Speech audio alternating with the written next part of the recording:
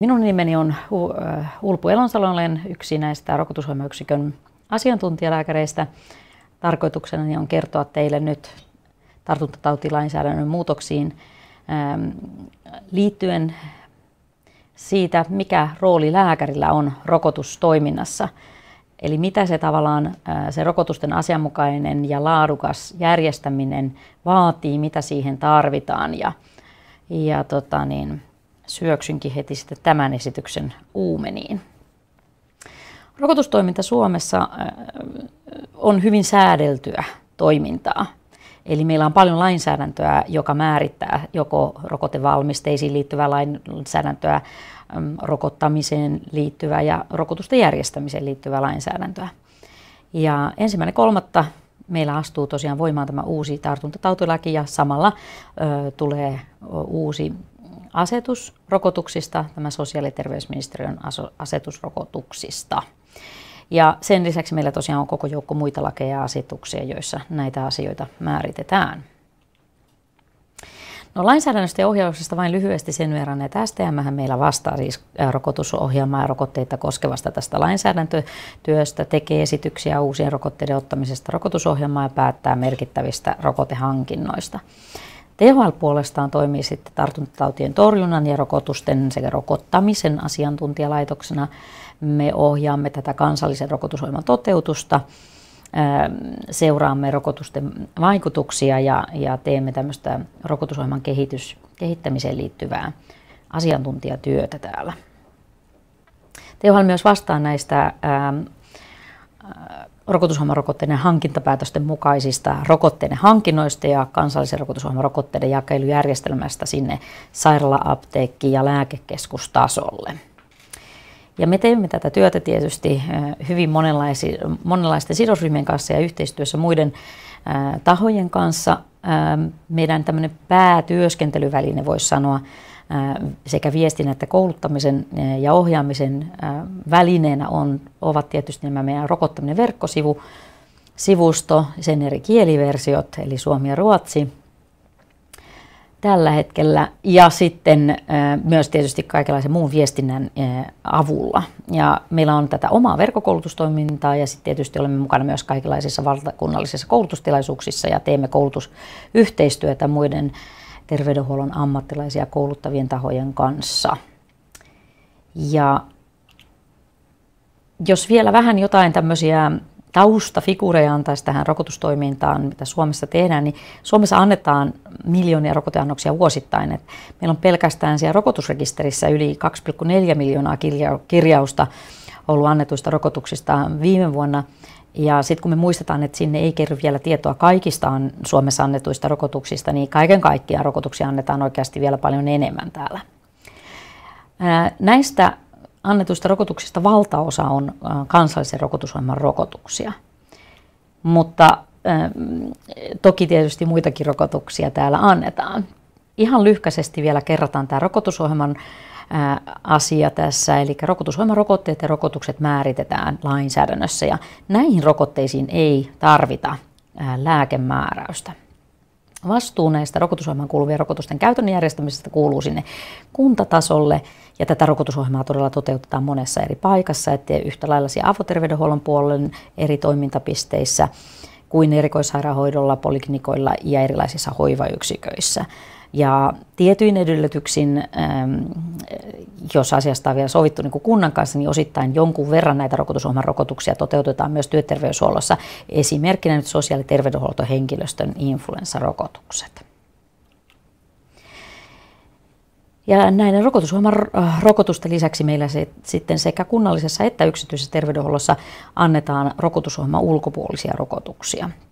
Näitä ovat tietysti työterveyshuollossa annettavat äh, työntekijää suojaavat rokotukset, joita tarvitaan työnkuvan tai työmatkan takia, ja vaikkapa vapaa-ajan matkailuun riittyvät rokotukset.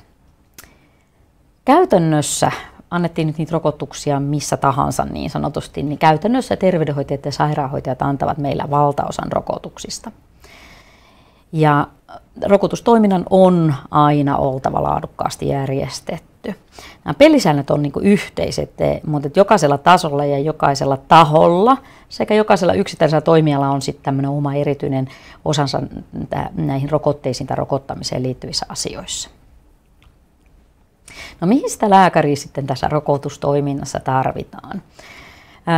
No, rokotustoiminnalle tulee aina olla nimettynä vastuulääkäri. Tämä lääkäri on siis vastuussa siitä rokotustoiminnasta. Lääkäri saa sen lisäksi tietysti määrätä ja antaa rokotteita. Lääkärillä on myös vastuu rokotuspäätöksistä. Ja jos ajatellaan ihan tämmöisiä käytännön asioita, niin lääkäri on nimenomaisesti myös rokottajien tuki, etenkin tämmöisissä erilaisissa haasteellisimmissa tilanteissa. Ja näitä voi tietysti olla vaikkapa erityisryhmien rokotusasiat tai jatkorokotuspäätös jonkin erityisen mm, rokottamisen jälkeen ilmenneen oireen jälkeen. Ähm, lääkärillä on rooli myös tämmöisessä korotetussa rokotusturvallisuustasossa, jota joskus tarvitaan rokottamisen yhteydessä. Eli sillä tarkoitetaan, että lääkäri on siellä lähettyvillä tai käytettävissä sitten tarvittaessa. Lisäksi myös e-, esimerkiksi epäröivien kanssa keskustelemiseen ja juttelemiseen saatetaan tarvita lääkäriä.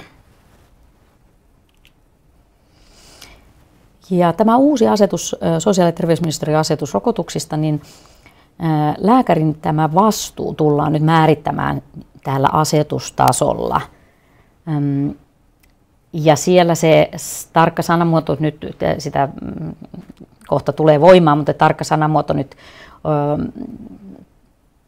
vahvistuu sitten siinä vaiheessa, kun tämä uusi asetus tulee voimaan, niin idea on kuitenkin, että se lääkäri vastaa rokotustoiminnan suunnittelusta ja toteuttamisesta. Eli siellä on, siellä, siinä on tavallaan se sisältö siellä uuden asetuksen sanamuodossa. Tämä tarkoittaa sitä, että että käytännössä se lääkäri vastaa sitä rokotustoiminnan niin kuin kokonaisuudesta ja siitä, että se rokotustoiminta järjestetään asianmukaisesti ja laadukkaasti on hyvä muistaa, että jos sosiaali- ja terveydenhuollon toimipisteessä ylipäätänsä annetaan rokotuksia, niin rokotteet ja rokotusten järjestäminen on huomioitava siinä toimipisteen lääkehuollon suunnitelmassa ja siinä myös tietysti tällä mm, toimipisteen rokotuksista vastuussa olevalla lääkärillä on oma roolinsa. Usein tämä lääkehuollon suunnitelma tehdään tietysti moniammatillisena yhteistyönä, mutta, mutta lääkärillä on oma roolinsa myös siinä. Ja lisätietoa ihan tähän niin kuin, rokotusten asianmukaiseen järjestämiseen löytyy meiltä THL rokottaminen verkkosivulta, täältä käytännön ohjeetosiosta, sieltä löytyy tämä rokottaminen askel askeleelta ja sieltä alta löytyy rokotusten järjestäminen. Ja tälle sivustolle me teemme nyt tarkennuksia ja todennäköisesti myös ihan ehkä erillisen sivun, johon kerätään näitä lääkärivastuulle kuuluja asioita. Eli nyt kun tämä lainsäädäntö astuu voimaan, niin, niin meillä on täällä pienoiset vipinät menossa täällä THL ja koitamme päivittää meidän verkkosivuja ja tehdä tarvittavat tekstimuutokset ja ja suomenkielinen versio tulee tietysti aina ensin ja sitten ruotsinkielinen tulee perässä. No mitä siinä rokotustoiminnan suunnittelussa ja järjestämisessä on sitten keskeistä tietää? No, oleellista on, että, että tietää milloin ja kenelle rokotus kuuluu maksutta osana kansallista rokotusohjelmaa, milloin rokotuksesta esimerkiksi vastaa se työnantaja ja siellä on se työterveyshuollon rooli siinä arvioinnissa ja sitten itse niiden rokotusten toteuttamisesta, toteuttamisessa. Oleellista on myös tietää, milloin vaikkapa hoitovastuussa olevan tahon tulisi huolehtia siitä rokotuksesta. Ja oleellista on myös osata erottaa ne tilanteet, milloin rokotettava itse hankkii sen rokotteen ja on, toimii niin kuin maksumiehenä silloin. Ja tähänkin liittyvä lisätietoa löytyy meidän rokottaminen sivustolta. Se on toki ripoteltuna siellä moneen eri kohtaan, koska niitä on mainittu muun muassa rokotteittaisessa osiossa, eli kun käsitellään yksittäisiä rokotteita, niin siellä aina kerrotaan, kenelle se mahdollisesti se rokotus kuuluu osana kansallista ohjelmaa ja mikä on sitä rokotusohjelman ulkopuolista käyttötarvetta. Ja sitten meillä on tämä eri ryhmien rokotukset osio myös siellä sivustolla ja siinä siellä myös tarkennetaan muun muassa tätä asiaa. No keskeistä siinä toiminnan suunnittelussa ja järjestämisessä on muistaa se, että kansallisen rokotusohjelman toteuttamiseen hankittuja rokotteita saa käyttää vain kansallisen rokotusohjelman mukaisten kohderyhmien rokotuksiin. Ja tästä on niitä tämmöisiä tiettyjä poikkeuksia, jotka niin THL sit, määrittää ja antaa sen ohjeen. Ja tässä uudessa asetuksessa tosiaan esimerkiksi tämmöinen tartuntatautiepidemian torjuminen, niin voidaan tehdä rokotusohjelman rokotteilla tietyissä tilanteissa. Voi olla todella tarpeellista saada isompi määrä rokotteita nopeasti, eli myös sellaiset asiat, jotka on nyt aikaisemmin ollut vaikka kunnan mm, velvoitteina hoitaa rokotukset tartuntatautiepidemian tilanteessa, niin, niin, niin tässä tämä uusi laki tuo pienen muutoksen asiaan. Tai uusi asetus. Hmm. No tämän suhteen kentällä sitten ollaan kyllä välillä vähän sekaisin, eli, eli kyllä yritetään tilata välillä kansallisen rokotusohjelman maksuttomia rokotteita sellaisten ryhmän niin kuin rokotuksiin, joille tavallaan se, ne rokotukset ei niin kuin rokotusohjelman mukaisesti kuulu. Ja sitten tällä rokotettavalla, voi anteeksi, pien lipahti yksi dia eteenpäin, rokotettavalla voi olla vaikka tämmöinen perussairaus, jonka perusteella hän niin hyötys jonkun tietyn rokotteen antamasta suojasta, mutta jos äm, tavallaan sitä ei ole niin sisällytetty rokotusohjelma esimerkiksi riskiryhmärokotuksena, niin, niin, niin silloin siihen ei voi käyttää niitä kansallisen rokotusohjelman maksuttomia rokotteita, vaan hyvän hoitokäytäntöön kuuluu, että silloin tämä hoitovastuussa oleva taho maksaa ja kustantaa tämän rokotuksen. Ja siinä kannattaa muistaa se, että, että perussairauteen tai sen hoitoihin verrattuna niin rokotusten hinnathan ovat aivan minimaaliset ja niillä kuitenkin pystytään esimerkiksi estämään merkittävästi tauteja. Näin. No, Rokotteiden ja rokotuksista vastuussa olevien tulee tietysti tuntea myös nämä rokotteiden hankkimiseen liittyvät asiat, jotta sitten tosiaan toimipisteissä äh, annetaan oikeita rokotteita ja käytetään oikeita rokotteita oikeille henkilöille. Ja äh, tässä on hy- hyvä olla tarkka siinä, että mi- mistä ja mitä rokotteita tilataan ja hankitaan ja kelle niiltä annetaan. Että vaikka siellä omassa toimipisteessä ei toteuteta sitä rokotusohjelmaa, on rokotusohjelma silti tunnettava, koska se on otettava siinä toiminnan järjestämisessä ja yksittäistenkin rokotettavien rokotuksissa huomioon. Ja rokottaminen sivustolla jälleen on paljon sitä ohjeistusta erilaisiin tilanteisiin. Ja rokottaminen sivustoa kannattaa seurata, koska niitä ohjeistuksia päivitetään tarpeen mukaan.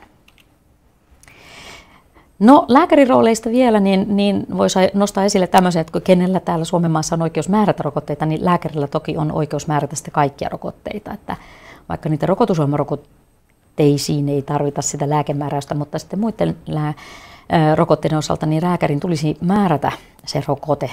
Ja siinä tietysti täytyy myös sille rokotukselle löytyä se käyttöaihe. Eli, eli tota, rokotukset, rokotus tulee antaa vain silloin, jos sille oikeasti on olemassa indikaatio ja, ja kaikki muut asiat on huomioituna siinä. Sitten meillä on tämmöinen pieni poikkeus tästä asiasta, meillä on, meillä on tämä, tämä tota, tämmöinen laissakin mainittu asia, että meillä on tämmöinen laillistettulla sairaanhoitajalla, sairaanhoitajana laillistettulla terveydenhoitajalla ja kätilöllä voi olla oikeus määrätä 12 vuotta täyttäneelle tai sitä vanhemmalle hepatiittirokotteita, influenssarokotteita ja vesirokkorokotteita. Tässäkin tämä lainsäädäntö, pikkasen sanamuotoja on muutettu, siellä taitaa nykyään olla, että siis laillistetulla sairaanhoitajalla on oikeus da da da da. Tämä jälkimmäinen asia, mä oon ottanut tämän esille, vaikka tämä onkin tällä hetkellä hyvin tämmöinen marginaalinen asia, niin mä oon ottanut sen takia esille tämän, että sillä voi olla merkitystä e, etenkin tulevaisuudesta. Toisaalta me, meidän on tässä vaiheessa vielä vaikea ennustaa kaikkia lainsäädännön muutoksia ja sote-kuvioita, mutta äh, joka tapauksessa, kun tämmöinen siellä on, niin, niin tota, olen halunnut sen tähän nostaa. Tässä rajatussa lääkemääräämisoikeudessa, mikä ö, sairaanhoitajalla voi olla, niin, niin ja sen edellytyksenä on siis se, että tarvitaan rajattu lääkemääräämisoikeuteen liittyvä tämmöinen lisäkoulutus ja työkokemus sekä lääkärivahvistama lupa, jossa on siis eriteltävä, että mitä lääkkeitä tämä tämä sairaanhoitaja saa määrätä. Perusongelma tässä oikeastaan on se, minkä haluaisin tuoda esille, on, että sairaanhoitajan tutkintoon johtavasta koulutuksesta on aikaisemmin puuttunut lähes kokonaan itse asiassa rokotteisiin ja rokottamiseen liittyvä koulutus, että, että siellä ei niin kuin, tavallaan ole ihan riittävä perustietoa siitä rokotteista eikä rokottamiseen liittyvästä asioista, ja aina olisi niin kuin tarkistettava nyt sitten, jos ajatellaan, että toimipisteessä olisi sairaanhoitajalla on tämmöinen lääkkeenmääräämislupa, niin siihen ei voi aivan automaattisesti niin kuin lisätä sitä, että hänellä olisi samalla oikeus niin kuin kirjoittaa sitten näitä tiettyjä rokotteita, vaan kyllä siinä täytyy katsoa, että että onko se kattanut se hänen saamansa koulutus ylipäätään riittävästi rokotteisiin ja rokotuksiin liittyviä asioita. Ja jos se ei ole kattanut, niin osaaminen on varmistettava muulla täydennyskoulutuksella, vaikka sitten ammattikorkeakoulujen tarjoamalla täydennyskoulutuksella käymällä läpi rokotusosaamisen perusteet opintojakso tai, tai suorittamalla siis se esimerkiksi. No lisää asioita nyt. Ihan peruslaidi tästä rokotustoiminnan suunnittelun pohjalla on siis jatkossakin tartuntatautilakia ja nythän tämä uusi laki tulee voimaan ensimmäinen kolmatta 2017 ja, ja siinä sitten tarkennetaan näitä tartuntatautien torjunnan velvollisuuksia. Muun muassa sitä rokotustoimintaa koskevia vastuutahoja selkeytetään, kuntien velvollisuuksia sitten selkeytetään vastuutahoja juuri näissä työelämään liittyvissä rokotuksissa ja opiskelijoiden rokotusten osalta. Ja tietyissä asioissahan on tämä siirtymäaika aina sinne mm, ensi vuoden maaliskuun alkuun asti ja tämä liittyy nimenomaan tartuntatautien vakiville seuraamuksille alttiisiin asiakkaisiin tai potilaisiin ja heistä huolehtivan tai hoitavan henkilöstöön ja työnantajalle asetettuihin velvollisuuksiin. No sitten mennään vielä vähän läpi sitä, että kuka täällä Suomen maassa saa rokottaa ja tämä määritetään, se on ennenkin asetuksella määritettyä, mutta että nyt sitten se määritetään tässä uudessa asetuksessa rokotuksissa ja samalla siihen tulee pieni tarkennus että rokotuksen pistoksena saa antaa vain lääkäri tai lääkärivalvonnassa asianmukaisen rokotuskoulutuksen saanut terveydenhoitaja, sairaanhoitaja ja kätilö. Ja vaikka tuolla asetuksessa ei mainita, niin myös sitten sairaanhoitajan laillistettu ensihoitaja, jolla on asianmukainen rokotuskoulutus, saa myös antaa rokotuksia. Että sitä sairaanhoit- ensihoitajaa ei mainita siellä asetuksessa, koska, koska se ei ole semmoinen ihan virallinen ammattinimike. Mitä tuossa sitten tarkoittaa tuo lääkärivalvonnassa, että se lääkärivalvonta ei välttämättä tarkoita semmoista konkreettista läsnäoloa siinä rokotushetkellä, mutta se lääkäri on vastuussa, että, se rokotusto, että sitä rokotustoimintaa toteutetaan siellä asianmukaisesti ja oleellisestihan siihen liittyy silloin, että, että rokottaja, se joka antaa rokotteita, niin hän on saanut asianmukaisen koulutuksen siihen rokottamiseen ja että se rokottajan ammattitaito on ajan tasalla ja että siellä on tietysti käytettävissä kaikki asianmukaiset välineistöt paitsi siihen rokottamiseen, niin myös rokotuskomplikaatioiden tai anafla- niin kuin, kuten esimerkiksi tämmöisen anaflaktisen reaktion hoitamiseen. Ja tässä mä oikeastaan viittaisinkin siihen, että, että on ihan tässä samassa sessiossa vielä erillinen esitys tästä rokottajasta, siitä kuka saa rokottaa ja mitä rokottajan asianmukainen koulutus sisältää ja miten osaamisen voi osoittaa. Että se, sitä kannattaa nyt sitten seurata tai sitten jos ei nyt ole päässyt heti seuraamaan tätä tilaisuutta, niin tämä tosiaan löytyy sitten myöhemmin vielä meidän verkkosivuilta nämä tallenteet. No rokotteen ammattitaidosta ihan lyhkäisesti vaan sen verran sanon tässä esityksessä, että se on määritelty tarkemmin THLn rokottaminen sivustolla. Siellä käytännön ohjeetosiossa jälleen kerran, niin sieltä löytyy sen rokottaminen askel askeleelta äh, osion kautta tämä rokottajan sivu ja, ja rokottajaan liittyvät sivut. Ja tämä, niin kuin se, mitä siellä puhutaan ja sanotaan ja kirjoitettuna, niin ne määrittävät samalla myös sitä, että mitä se asianmukaisen koulutuksen tulisi sisältää.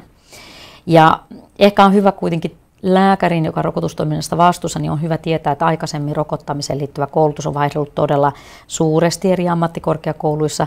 Käytännössä sairaanhoitajilla kätilöillä ei ole ollut oikeastaan paljon ollenkaan rokotuksiin ja rokottamiseen liittyvää koulutusta, ja terveydenhoitajillakin sitä on ollut osassa ammattikorkeakouluissa riittämättömästi, ja se on ollut usein integroitu muuhun opetukseen, että että aikaisemmin vain muutamissa ammattikorkeakouluissa oli ihan erilliset selkeät opetusjaksot rokottamiseen liittyen, että, että tämä on ollut se tau, tavallaan niin kuin aikaisempi tilanne, että nyt meillä sitten on on tota, tähän rokotamian ammattitaitoasioihin kiinnitetty huomiota vähän enen, enemmän ja on, on tota, niin, tämmöinen rokotusosaamisen koulutuskokonaisuus, jonka käyttöönotto etenee siellä ammattikorkeakouluissa terveydenhoitajien, sairaanhoitajien ja kätilöiden tutkintoon johtavassa koulutuksessa ja, ja siellä on semmoinen asiantuntijoiden tarkkaan miettimä sisältö ja on tämmöinen niin osaamisen varmistamiseksi ajateltu nimenomaan ja se soveltuu siihen teoreettisen osaamisen näytöksi. Ja tämän lisäksi rokottaja tarvitsee tietysti tämmöiset käytännön rokotustaidot ja hänen täytyy osata antaa rokotustilanteeseen liittyviä ohjeita ja hallita se rokotteiden antaminen oikealla tekniikalla niille ikäryhmille, joita hän rokottaa.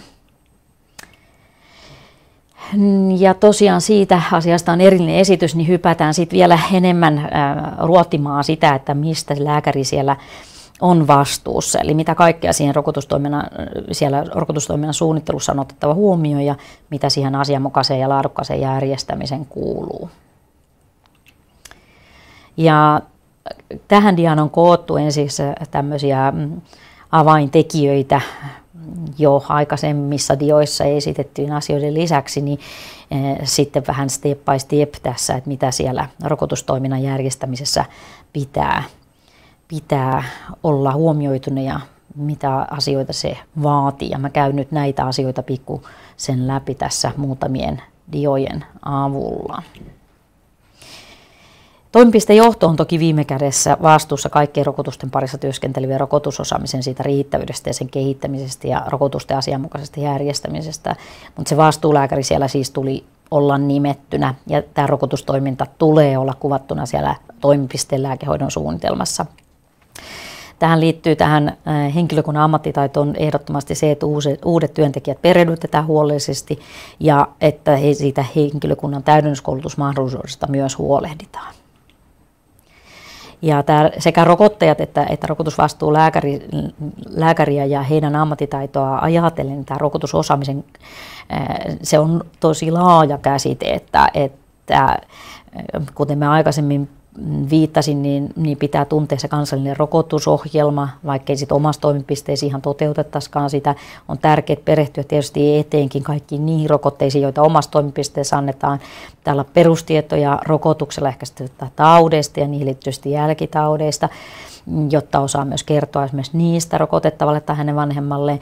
Pitää tuntea rokottamisen muistisäännöt ja hallita, sitä, hallita ne. Se helpottaa sitä työntekemistä huomattavasti samoin kuin meidän mm, verkkosivulta löytyvillä poikkeamat rokotusohjelmasta ohjella pärjää hyvin pitkälle.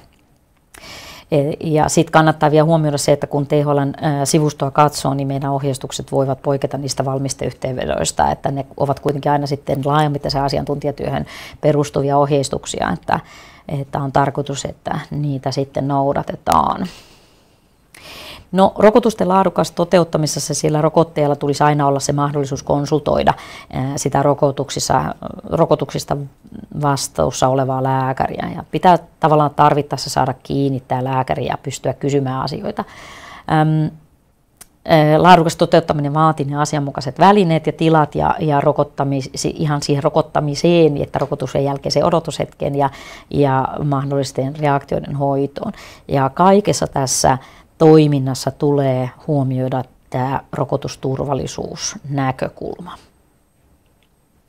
No siellä rokotustilassa sitten ihan me ollaan lueteltu täällä meidän sivustolla myös vähän sitä, että mitä siellä tilassa tulee olla, että koska aseptiikkaa pitää noudattaa, niin käsienpisumahdollisuus on ihan selkeä, että pitää olla ja lähettävillä tai rokotustilassa tulee olla sitten tietysti asianmukaiset säilytys, säilytystilat, että asianmukainen jääkaappi ja, ja kyllä siellä tarvitaan pöytää ja tuolia ja pritsiä ja välineistöä rokotusten kirjaamiselle ja, ja tilaa rokotusvälineiden säilyttämiselle, laskutilaa rokotteiden käyttövalmiiksi saattamiselle ja tarpeistoa sitten jätteiden asianmukaiselle hävittämiselle.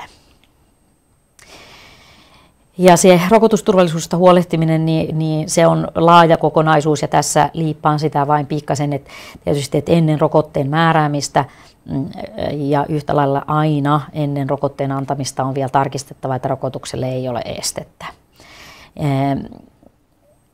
Joskus tässä siis esimerkiksi, jos ajatellaan rokotusohjelman ulkopuolisia rokotuksia, niin on kyse vaikkapa rokotussarjasta ja saatetaan kirjoittaa resepti vaikka kolmelle annokselle ja sitten niistä ehditään antaa yksi tai kaksi ja, ja tota, mm, tilanne voikin muuttua, että tuleekin joku este, ettei sit voikaan rokottaa, on tullut joku selkeä rokotteesta johtunut oire, joka estäisi sit jatkorokotukset, niin aina sitten kuitenkin ennen sitä rokotteen antamista vielä se rokottajakin tarkistaa, että rokotukselle ei ole estettä tai ei ole sitten sen hetkistä estettä, että joka aiheuttaisi sen, että pitäisi vaikkapa siirtää vähäksi aikaa sitä rokotet, rokotteen antamista. Ja sitten tulee varautua näihin välittömiin rokotusreaktioihin ja toimipisteessähän tulisi olla esillä selkeät ohjeet välittömien rokotusreaktioiden hoidosta ja, ja henkilökunta perehdytettynä niihin riittävä välineistö niiden hoitamiseen. Että se riittävä osaaminen reaktioiden tunnistamiseen ja hoitamiseen täytyy olla. Ohjeet anafylaksin hoitoon pitää olla selkeästi esillä, mutta kyllähän ne täytyy olla myös selkäytimessä, vaikka anafylaksia on äärettömän harvinainen harvinainen tapahtuma rokottamisen jälkeen. Aina tulee olla adrenaliinia sen hoitamiseksi ja puhelin avun soittamiseksi. Että, ja sitten siitä rokotuksen jälkeen on aina muistettava huolehtia riittävästä ää, seuranta-ajasta ja, ja tähänkin tarvitaan oikeastaan ne asianmukaiset tilat. Eli että sillä rokotettavalla on joku paikka, missä hän voi olla sen rokottamisen jälkeen vaaditun ajan ja sitten, sitten vasta lähtee sieltä. Sitten tämmöiseen turvallisuuteen kuuluu tietysti se, että osaa myös erottaa sitten erilaiset muut oireet, pelkäämiseen liittyvät tai, tai mm, pyörtymiseen liittyvät tai vasovakalliseen reaktioon liittyvät oireet sitten tästä anaflaksiasta, ettei sitten myöskään hoideta anaflaksiana tai pidetä anaflaksiana sellaisia asioita, jotka eivät sitä todellisesti ole. No, rokotusturvallisuuteen kuuluu vielä lisänä se, että rokotettava tai hänen vanhempansa saa sen riittävän ohjeistuksen sitten ää, rokotusten mahdollisista haittavaikutuksista ja siitä, mitä oireita voi hoitaa ja milloin tulee ottaa yhteyttä, yhteyttä sinne rokottavan tahoon tai milloin tulee mennä lääkäriin. Ja rokotuksen jälkeen rokotetulla tai hänen vanhemmalla tulee aina olla se mahdollisuus ottaa yhteyttä ja saada niitä neuvoja. Että se kuuluu tähän laadukkaaseen toimintaan. Ja haittavaikutuksiin liittyvät asiat täytyy myös hallita siellä, että näitä tarvitaan myös jatkorokotuspäätösten tekemisessä ja, ja, ja toki täytyy myös tietää, milloin tulee tehdä ilmoitus epäilystä tai todetusta rokotteen tai rokotuksen haittavaikutuksesta.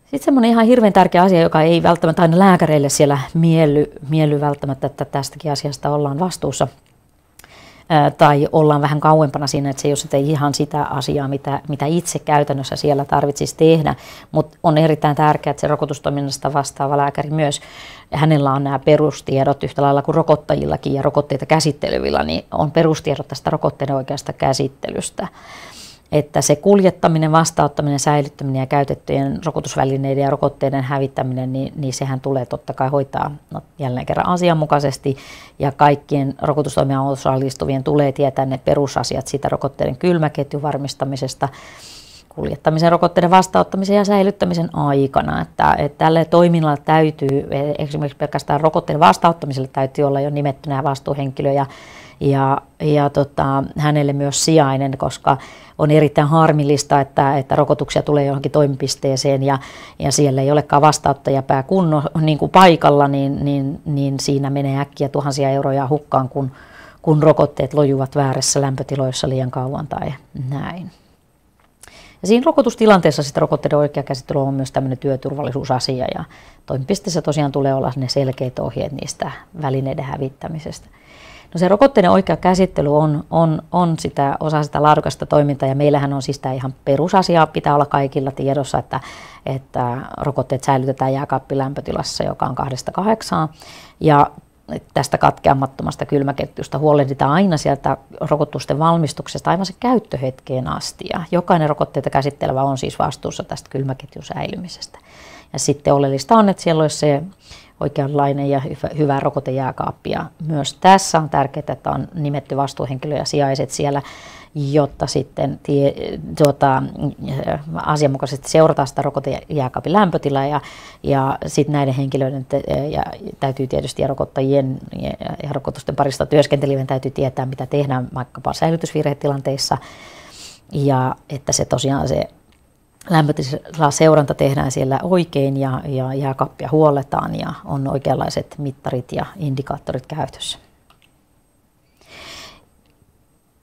Ja torttapo tortta jälleen kerran, kun tämä on niin tärkeä asia, niin se on tosiaan jokaisen rokotetta käsittelevän henkilön vastuulla tämä oikea säilytys. Ja tässä kannattaa muistaa, että myös tämmöiset erityistilanteet, että jos kuljetetaan paikallisesti rokotteita, annetaan vaikkapa kotisairaanhoidon työn osana siellä rokotettavan kotona tai järjestetään sitten joukkorokotustyyppisesti, esimerkiksi vaikkapa influenssarokotuksia, niin, niin että myös niitä varten on olemassa omat ohjeet, joilla pyritään valmistamaan se, että me annamme oikeasti ihmisille sellaisia rokotteita, jotka ovat vielä täysin kelpoisia, eli niistä ei ole vähentynyt teho tai ei ole, eivät ole menneet niin kuin tai niissä on siis oikea teho jäljellä, että ei olla tuottu niitä väärällä säilyttämisellä. Ja tämä on sen verran tärkeä asia, että meillä on oikein iso osio tästä rokotteiden käsittelystä siellä meidän verkkosivuilla ja siellä käsitellään kaikki, kaikki sitten tähän liittyvät keskeiset asiat, asiat ja siihen osioon on jopa lääkärinkin hyvä perehtyä, varsinkin silloin kun lääkäri on siitä rokotustoiminnasta vastuussa. Laadukkaaseen rokotustoimintaan kuuluu ja mikä pitää olla siellä huolehdittuna myös on se, on se kirjaaminen. Eli rokotukset täytyy lakisääteisesti kirjata ja äh, tämä rakenteinen kirjaaminen on tätä nykypäivää äh, ja se huolellinen kirjaaminen on osa sitä rokotteen ammattitaitoa ja laadukasta toimintaa. Ja se kattava tiedonsiito potilastietojärjestelmistä ja huolellinen kirjaaminen mahdollistaa sitten, sitten tämän tietojen tallentumisen sinne potilastiedon arkistoon, kanta arkistoasioihin liittyen ja sitten myös tähän valtakunnalliseen rokotusrekisteriin ja on ihan keskeistä, jotta rokotteiden hyötyjä ja mahdollisia haittavaikutuksia voitaisiin seurata, että ne rokotukset on oikein kirjattu. Se mahdollistaa myös sen rokotuskattavuuden seurannan, että, että se on tärkeä asia ja rokotukset tosiaan niin kirjataan. Tässä on nyt vielä mainittuna se vanha asetus, eli se uusi asetushan tulee kohta voimaan, mutta samat asiat siellä on, eli rokotukset Sistä tulee tehdä se merkitään potilaskertomukseen ja tota, sähköisen potilaskertomuksen tulee olla sellainen, että se eh, mahdollistaa se rakenteisen kirjaamisen. jos nyt olen oikein ymmärtänyt, niin uudesta asetuksesta poistuu ehkä tämä tämmöinen paperiversio, määritelmä, mutta että nimenomaisesti, että, että ne rokotukset kuitenkin kirjataan sinne potilaskertomukseen. Erityisen hyvän tapaan kuitenkin kuuluu edelleenkin, vaikka se poistuisi asetuksesta, niin että rokotettavalle annettaisiin tämä terveyskortti, kansainvälinen rokotuskortti, tai sitten käytetään totta kai sitä neuvolakorttia, eli lapsuusien terveyskorttia siihen, että kirjataan ne rokotukset myös sinne, jotta sitten rokotettava helposti jostakin ne näkee. Toki tämä sähköinen maailma on tulossa tähän, ja, ja tota, myöhemmin sitten mahdollistuu se, että ihminen aina vaan entistä paremmin löytää omat, omat rokotustietonsa esimerkiksi vaikka sieltä potilastiedon arkistosta, kanta-arkistopalveluista. No sitten äh, tähänkin tietysti liittyy se, että pitää olla ne yhtenäiset kirjauskäytännöt ja henkilökunnan se riittävä perehdytys. Myös joukorokotustilanteissa tulee huolestia, että tämä rokotukset kirjataan asianmukaisesti ja tässäkin on hyvä, hyvä nämä siellä äh, rokotustoimintaa suunnitellessa niin, niin huomioida, että nämäkin asiat ovat reilassa ja ää, tota, niin, rokotustoimintaa suunnitellessa ja tämmöistä lääkehoidon suunnitelmaa te- tehdessä niin ei ole paha asia, etteikö se rokotusten kirjaaminenkin siellä mainittaisi.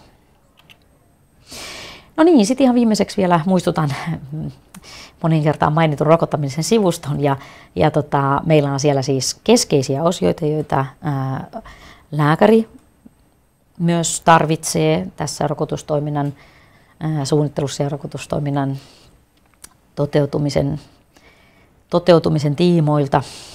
Meillä on siellä se kansallinen rokotusohjelma-osio, meillä on tämä käytännön ohjeita osio, meillä on rokotteita koskeva osio ja ää, muistutan, että meillä on se koulutuskalenteri siellä etusivulla, että sieltä sitten aina ajankohtaisia ää, koulutustapahtumia pystyy bongaamaan ja aiheita – ja sitten meillä on tietysti erittäin paljon muuta materiaalia siellä työntekemisen avuksi. Ja, ja tota, neuvolan rokotusopas esimerkiksi siellä käytettävissä. Ja siitä on tämä suomenkielinen sähköinen versio olemassa. Ja se opashan päivitetään sitten tänä vuonna. Ja siitä tulee myös ruotsinkielinen versio, jota on kovasti kysytty tässä välissä, että tällä hetkellä siitä ei ole ajantasasta käännöstä, niin tota, mutta sekin sitten tulee jossain vaiheessa.